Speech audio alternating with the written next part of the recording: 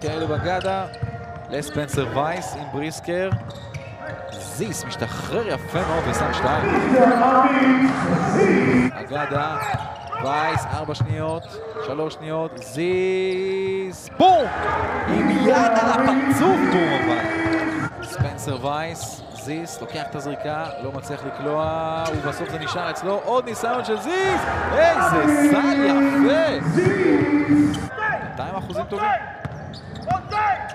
לבד לגמרי זיס, גם הוא יודע לקלוע. עמית זיס, 11 נקודות הערב, הראשון בדו ספרתי. הורידו את היישומון החדש של ליגת ווינרסל.